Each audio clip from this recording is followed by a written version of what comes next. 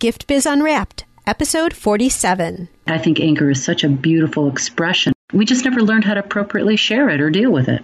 Hi, this is John Lee Dumas of Entrepreneur on Fire, and you're listening to Gift Biz Unwrapped. And now it's time to light it up. Welcome to Gift Biz Unwrapped, your source for industry specific insights and advice to develop and grow your business. And now, here's your host, Sue Monheit. Hi there, I'm Sue, and welcome to the Gift Biz Unwrapped podcast. Whether you own a brick and mortar shop, sell online, or are just getting started, you'll discover new insight to gain traction and to grow your business. Today, I am so honored to have Dr. Shawne Duperon spending time with us today. From London to Athens to Munich to across North America, Dr. Shawne Duperon, a six time Emmy Award winner and nominated Nobel Peace Prize nominee, is a good gossip researcher. She travels the globe educating corporations, entrepreneurs, universities, and government agencies on what inspires people to share good things and how to powerfully lead with compassion. Her case study is Project Forgive, a nonprofit leadership foundation that reaches millions in social media. You've seen her featured in major media including CNN, ABC, Inc. magazine, and USA Today, to name a few. This PhD in gossip, and yes, I did say gossip, used gossip theory to make Project Forgive's five minute video go viral, even capturing an endorsement from Archbishop Desmond Tutu. Welcome to the show, Shawne. Woohoo! I mean, thanks for having me, Sue. Over and above your intro, I'd like to learn a little bit more about you through our podcast's traditional, albeit a little bit different approach. If you were to describe a motivational candle that portrays your personality and your passion, what would it look like? In other words, what color would you gravitate to, and what is your favorite quote these days? So the nomination for Nobel Peace Prize is new. So that's a learning how to step into that kind of energy. And it's a very beautiful thing. So before that, last week, I would have definitely said pink because I love pink. The transitions that have happened even in the last week, I would say gold. Gold, like this deep, burnt kind of yellow gold would be my motivational color in a candle. And my favorite quote is mine. I know it sounds so self serving and for me, forgiveness is the ultimate of everything in life. And my favorite quote is mine that I share a lot in Project Forgive, and it's called Accept the Apology You'll Never Receive, which to me is the epitome of maturity and leadership. Ooh, I think we're going to probably be getting into that as we continue on with our chat. So maybe we'll just let that sit right where it is for now, and we'll get back into that again as we talk about Project Forgive. How does that sound? Sounds exquisite. All right. So I have to tell you, when we read all the information and we hear your intro, one word absolutely pops out, and that is that word gossip right? And gossip kind of you you think like, oh, you know, that person who's always the gossiper and all of that. And I know you have a real different approach and definition of what gossip really means. So can you share that all with us? You know, when I was a master's student, because mass communication, I worked in media for a long time and worked in newsrooms. I had a professor say to me, Shawne, have you ever considered the conversation of gossip? There's like 100 researchers that are very indelibly connected into this topic, and it's not what you think. So I went and did some research, and I was so inspired by the topic that I actually chose it to be my expertise as a PhD student. And you're right, when you think gossip, you think mean and nasty, but that's not what the research shows at all. That mean, nasty stuff is only about 5 to 7%. We're actually really good people, and good gossip or word of mouth is the best best way to grow your business, especially if you're just starting out, you know, in the gift wrapping or you're baking or crafting, whatever it is that you're doing. When people love what you're doing and they start talking about it in such a powerful, beautiful way, that's really how your business grows. So, how is gossip different than referrals and getting word of mouth pass along information? You know what? I'd call it authenticity. Because in good gossip, people become raving fans. They get so excited by what you're doing. Like I do a boot camp. I very rarely advertise it, if at all. I sell out every year because people that go, they have such a beautiful, authentic, heart centered experience. They see media so differently and their experience is so exquisite. When they share it with somebody, they're not just saying, Oh, you want to learn about media? Go to Shawne's Media Mastery Boot Camp. They say, No. They say, Oh my goodness you got to go to boot camp. Even if media is not on your purview, it's a class about fear. It's not what you expect at all. You will get so much comfort in your skin that discomfort will go away. You'll be doing things you never thought you'd be doing. Oh my gosh, that is a must take class. Now, that good gossip right there with authenticity and passion and excitement, you build a tribe because it's authentic and it's loving and they cannot not share about you. That's very different to me than an actual referral. So, when you're talking about authenticity, you're talking about heartfelt, wanting to really help somebody out and sharing information, whether it's a story or a resource or something like that, but truly from the heart for the well being of the recipient. Yeah, it's like go see Star Wars. Oh my gosh, I'm not even a Star Wars fan. I loved it. I loved it. Like I seen movie one and movie three. My grandkids love it. I'm not a Star Wars fan, and I saw it, and it's really impactful when I say, you know, and especially my girlfriends that aren't Star Wars fans, I'm like, go see it. You're going to be so touched. It's so well written. It's well done. I can see how the genre is working. That it's heartfelt would be one piece of it. It would just be like straight talk. You know, your straight talking girlfriend or friend says, oh my gosh, you gotta buy that laundry soap because it actually does what it says it's going to do. It gets rid of rust stains, and you believe your friend because you love and trust them. Of course you do. You're absolutely right. And so, how does that fear element play a role?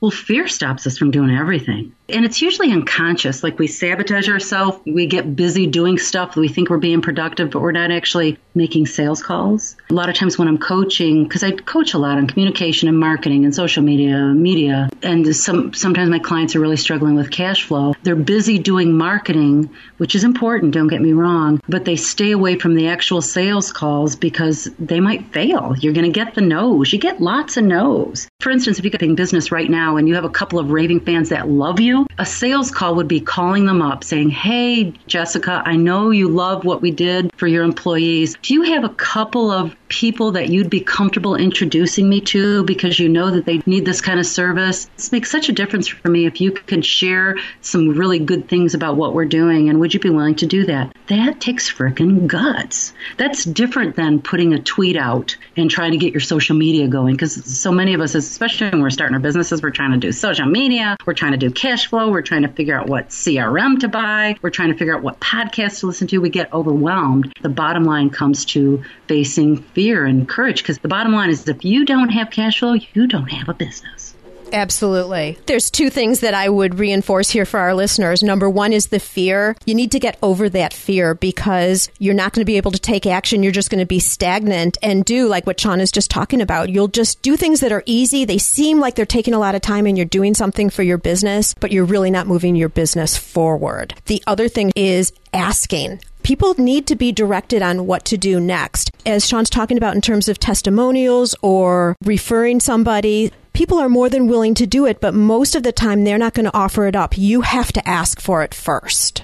I'm going to make a broad statement. I would guess that those of you listening, if you're gift wrapping, if you do crafts, or if you're baking, you're a very creative soul. And a lot of times you're empathic or you feel a lot of things because you can feel what people like. So it does hurt your feelings when you get a no. And it's even scarier to take risks. And I just want to say that I am terrified a lot. I had to do something terrifying last week based upon my goals. I have a client, they're called Stardock. They're a video game company. They're deeply connected with Microsoft. Microsoft is on my vision board. I want to do global training for Microsoft and go in and do communication leadership, presentation skills, forgiveness as a business tool in that realm of communication and leadership. And it took some courage. And I said to Chris, he's my client, I says, Chris, there's something you can do for me. And he said, What?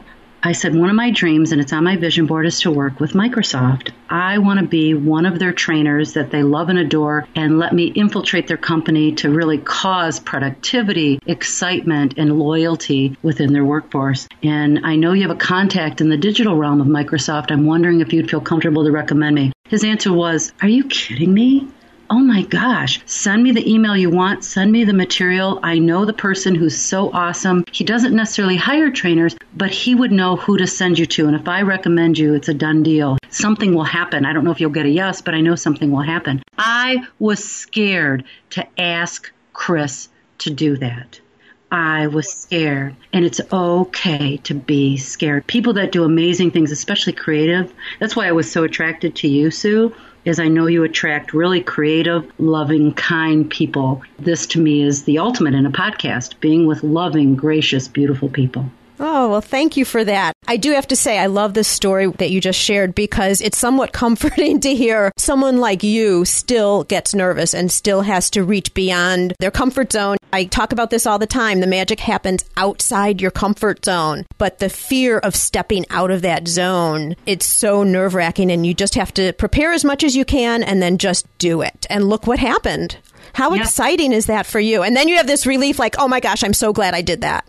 Absolutely. And you know, the mantra for me is dancing and being comfortable with being uncomfortable, like actually becoming masterful at allowing yourself to be uncomfortable. And I call it farting. That's what it's like. If you can stand the smart, I know it's like politically incorrect or whatever, but I love this analogy because it works. You're at the mall or whatever, someone farts and you're walking, you're like, oh gosh, you know, and after three seconds you walk through the fart and it's not that deep. And when you're making an ask or you're being really uncomfortable, it's like a fart. And of course, some farts last longer than others. I get it. Okay. you know, you know, maybe doing that presentation to a corporation to get a larger account. For me, it's media interviewing your four minutes on air, and it's four minutes of farting is what I call it. It's like a fart to stop you from your dreams because all it is is a fart and getting really comfortable with the smelliness and the messiness of it. It's not that frickin' deep. So we all have to remember that, you guys, when we're facing something that we are uncomfortable with, let's just remember Shawne's words. It's just like a fart. it really it works. I think I'm going to be hearing this repeated when I go to trade shows and such. Just you wait and see. All right, you guys. So, gossip. Gossip is good for your business. You want it to be authentic. You want it to be exciting, just like you're talking to your girlfriend. That's how you want your clients to be talking about you. I want to move on, Shawne, now into what I know is very passionate for you, and this is the whole Project Forgive. It's a nonprofit, and I'd love for you to just, you know, start and tell our listeners what the base of it is, and if you're willing to share the story, because I think it really will let everyone understand how deeply passionate you are about this project. Absolutely. The story is, and we have a, the little video went viral. You can see it on our website, and our new website is about to launch. It's exciting. I did a little video. A friend of mine, his name is Gary, his wife and his two children were killed by a drunk driver. My children babysat those children. Judy was my husband's business coach. It was a horrible, horrible day when we got the news that this family was killed and Gary wasn't in the car at the time. Then I get another call later that day informing me that the man who killed them, his name is Tom, is also another dear family friend. Every time I share this, whether it's a podcast or CNN or whatever, I get goose pimples because I knew in that moment both these families were amazing. Know that and that me being at the crux of that intersection of knowing both families and knowing about this conversation of forgiveness knew that I had to do something. I never had any inkling to start a nonprofit, never had any desire for any of what's happened. We're reaching millions in social media. I'm talking about forgiveness, although I do a lot a lot of that in my marketing strategy business because I'm all about taking a risk and how quickly can you forgive yourself when you screw up because you know in that farting realm you're going to make a lot of freaking mistakes. You just are. And the game is can you grieve your losses so you don't keep making the same mistakes? Because I believe we keep making the same mistakes over and over until we get the lesson, right? So, anyways, this video goes viral, and it's I don't even have words for it at this point. We've had Naomi Judd get involved. Archbishop Desmond Tutu endorses us now. We're actually making a movie. Start off as a five minute trailer. The movie is going to air this year. We're actually waiting for some legal stuff that's almost complete, and I'll be able to share more about the date. You can go on Facebook and, and get our updates and see what's going on there. The community there is so exquisite. And we decided to start a leadership foundation because we're seeing that with all these corporations that I personally work with, conversations of compassion and forgiveness, integrity, diversity are missing in corporations. And it's the people that work at corporations that are actually are the corporation and they are exquisitely yearning for these leadership trainings. So that's what we decided to do. And when the movie comes out, our goal right now is to make it free. I think we're going to be able to do it. That's why I'm not announcing it. Really? Yeah. Wow. Make it free. If you're inspired to donate to us, you can. Everybody in the organization are volunteers. And at some point, I'm sure we'll be hiring an executive director to get it moving forward because I'm so busy in all my good gossip stuff and uh, love that conversation of forgiveness. And I really appreciate you asking about it because it really is beautiful, beautiful conversation. It certainly is. Can you talk a little bit more about this? Like, where was the bridge of, all right, this horrible situation happened. You're here in the middle of all of this, which I'm sure very conflicting emotions. How did you make that leap or that decision, or where was the light bulb that came on that said, the world needs this. I'm going to make this into a nonprofit organization or just to do the video? Where was that transition? As soon as I found out that Tom was the one that killed Judy and Sammy and Alex, I knew this was going to be a video. I didn't know it was going to be, I thought maybe a documentary. Most people that hang out with me or go through my trainings, whatever, I'm very open about this. I'm an incest survivor, and I share that very openly. I'm a, at this point, I'm a 51 year old grandmother now, and I've done a lot of work, a lot of tears, a lot of shifting around the conversation of being molested. And I'm even at the point, this is not endorsing molestation, believe me. And I'm at the point where I can say it's one of the best things that's ever happened to me to be an exquisite, compassionate, loving person. And sometimes things happen to us, and I like to say things happen for us for our growth. And um, I wouldn't trade my past for nothing. Would I wish molestation on anyone? No, of course not. And what happened to me is what happened to me. It's my job to embrace it, grieve it, be angry about it, accept it, find solutions, and actually become the most exquisite person I can become. So when I did find out that it was Tom that killed them, and I know Gary so deeply, I knew this man was going on a horrendous journey. And I knew he would forgive Tom. I knew he would. I know Gary so indelibly. That's exactly what happened and knew that was inevitable for who these families are. Both families are just amazing, beautiful souls who like are in that philosophy. Although I don't know if they use the words, "Oh, it didn't happen to me; it happened for me." They're in that philosophy because you, when you meet people, you can tell when people get mad and blame others and stay in that very bitter, angry place. There's a genre of people that stay there, and then there's those that are growing and loving and evolving that look for the lessons in all the things that happen for us. And um, when I heard it was Tom, I knew something big was about to happen here. It was an evolution to create the foundation that happened over a series of time. As, soon as we started reaching millions in social media, I mean, we didn't reach millions right away, but the social media growth happened quite quickly. Using Gossip Theory, I was able to do that. That's why I teach a lot of social media how to do it. So uh, it was inevitable. Wow. Two powerful stories for sure. And I know that there are a lot of people out there who are hurting just like that. And you don't necessarily know when you meet people, you don't know what their backgrounds are or what they've been challenged with. And I totally agree with you, Shawne. I mean, there's people who will just use that as the excuse. And I don't mean to say it not genuinely or, or with passion or anything because I know they're hurting, but that'll be the excuse not to move forward. And then there are other people who will take it and they'll have to deal with it. And does it make it right? No, for sure not. But you still have a whole life to live, you know, and are you just going to let that then affect the rest of your time here on earth? Hopefully not. Is that the type of thing that Project Forgive gets into? Well, you know, it's so funny because there's so many forgiveness organizations in the world. There's some beautiful ones. Project Forgiveness out of the UK, they look at restorative justice and like um, atrocities like genocide and people forgiving people for murdering their families. There are many organizations. What Project Forgive focuses on is we focus on you and your own personal journey. Because if you're in a lot of pain and you lost your job and you got breast cancer, it's really hard to care about what's going on in Syria. Okay? Right, right. Uh, it is. It's really difficult. So we focus on that personal, professional development growth of you internally so you can face your stuff and move forward and say, because even part of the forgiveness process is being able to speak your truth. You know, like if you're mad or, you know, there's so many issues around anger. That's one of the biggest things we discovered while we're filming Project Forgive. We interviewed these little kids. You'll see it in the viral video. And we asked them, you know, what is forgiveness? And they're so cute. It's like when you, it's a bunch of sorries or when you don't hate anyone. It's so cute. And then we also asked them, what about anger? These are all four year olds.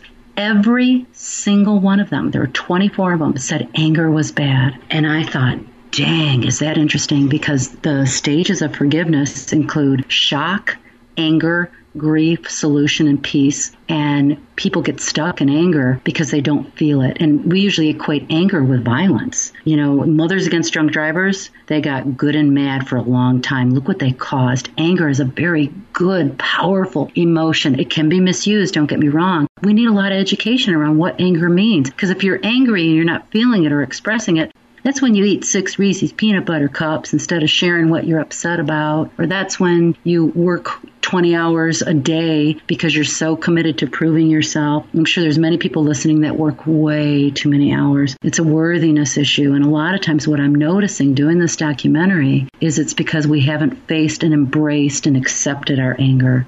I think anger is such a beautiful expression of we just never learned how to appropriately share it or deal with it. Those are some words for thought honestly. And I know for sure because I know a lot of our listeners because a lot of them are customers of, of my business. And I know that what you're saying is true. Mm. Absolutely. And we're talking here about more deep rooted anger. What do you think about now? You know, many of the people listening are business people and they've had issues where I think they've become angry in their business, not as deep as the issues now you're talking about, but let's say an employee stole from them or a customer bashed them on social media or things like that that produced a lot of anger.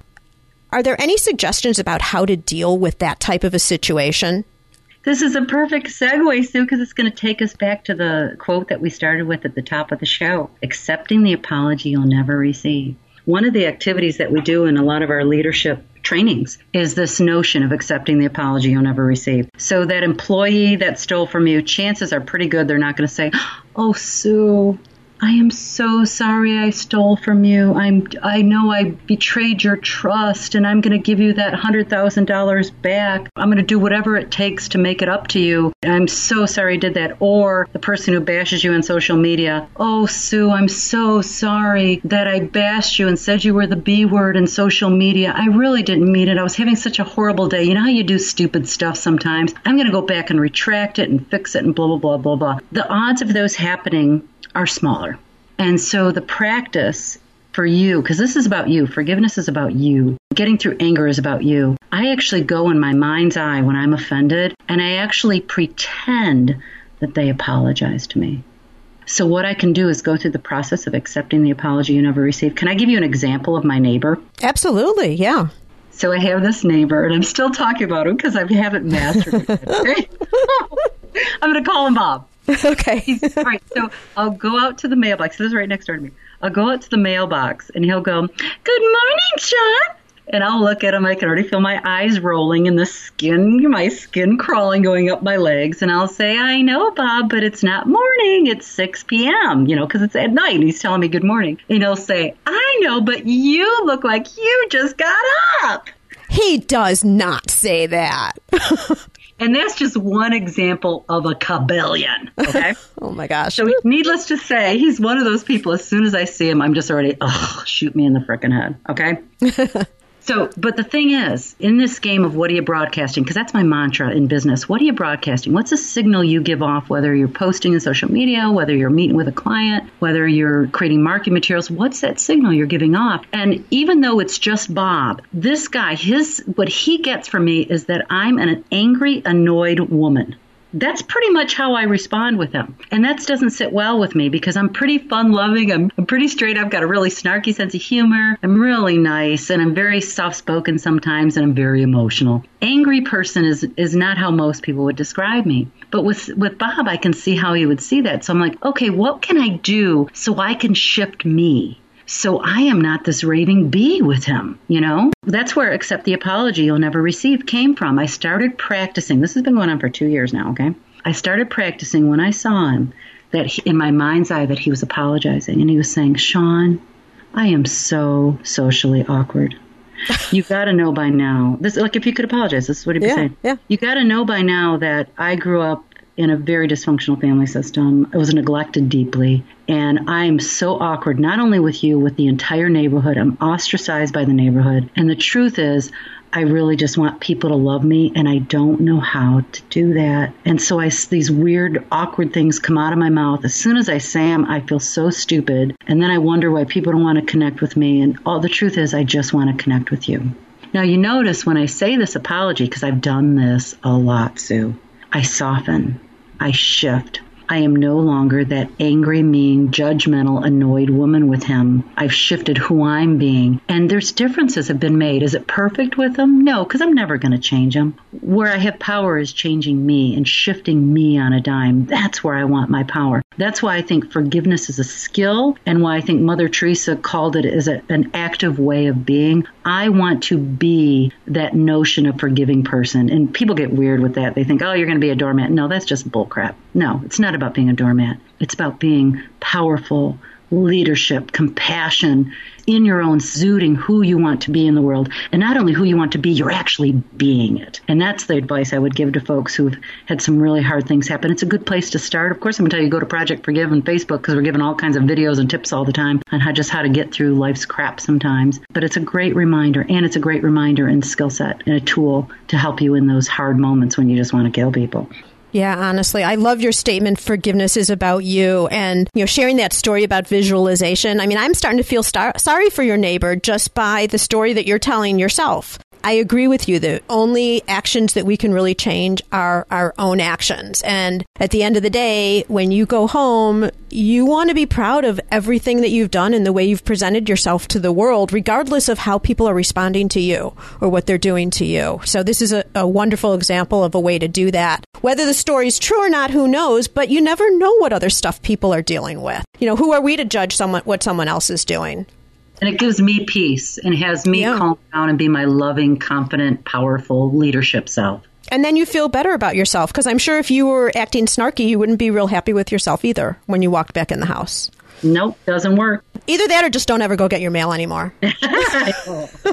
well, listen, um, Shawne has mentioned the Facebook page. She's mentioning the documentary that's going to be coming out. I know we can't get any more information on that right now, but when it is available, you guys, I'm going to drop everything into the show notes so you'll have all the links to Project Forgive, Facebook pages, all these different things where you can learn more about what Shawne is up to. And I encourage you guys to go and take a look. You'll find a wealth of information there. In preparation for this interview, went through a lot of the other interviews she's done, looked at some of the things that she's putting out. Some of them are free. There's a really, really good download that you guys can get about how to look right in an interview when you're being actually videoed. So great one for you guys to go grab. I'll have all those links over on the show notes page for you. All right, Shawne, we are ending up now with my favorite part of the interview. You've shared so, so much great information. This one is for you. I'd like to present you with a virtual gift. It's a magical box containing unlimited possibilities for your future. This is your dream or your goal of almost unreachable heights that you would wish to obtain. Please accept this gift and open it in our presence. What is inside your virtual box? You know what? It's a word and um, the word that you even used in what you were saying, because my word for this year is unlimited and slash limitless. And what I've discovered is that at this phase of my life, I can't even focus on what I want because it's not even, doesn't even touch what can actually happen. So I'm playing the game of limitless and it touches my heart to say it because I'm so open to whatever the universe, God, Allah, Buddha, goddesses, Native Americans, whatever they have to share with me because I'm in dream come true mode and I don't, sometimes I don't even think it can get even better than what it is. And I want to say pinch me. So the word limitless is my word and that is the gift you're giving me today. Well, limitless. That's fabulous. Gift Biz listeners, I know that you will join me in wishing Shawne all the success with the Nobel Peace Prize nomination, and we'll all be watching out for that. And again, I appreciate all the information that you've shared. You've given us a couple of different ways to look at our businesses and to interact with people that I don't think we've shared on the podcast before. So that's really, really helpful to us. Thank you for your time today. I really enjoyed our chat. And Shawne, may your candle always burn bright. Thank you so much. Learn how to work smarter while developing and growing your business. Download our guide called 25 Free Tools to Enhance Your Business and Life. It's our gift to you and available at giftbizunwrapped.com slash tools. Thanks for listening and be sure to join us for the next episode. Today's show is sponsored by the Ribbon Print Company. Looking for a new income source for your gift business? Customization is more popular now than ever. Brand your products with your logo or print a Happy Birthday Jessica ribbon to add to a gift right at checkout. It's all done right in your shop or craft studio in seconds. Check out the theribbonprintcompany.com for more information. Would you like to be on the show? Or do you know someone who can provide valuable insight from their experiences? If so, we'd love to hear from you. All you need to do is submit a form for consideration. You can access the form at giftbizunwrapped.com forward slash guest. That's giftbizunwrapped.com forward slash G U E S T.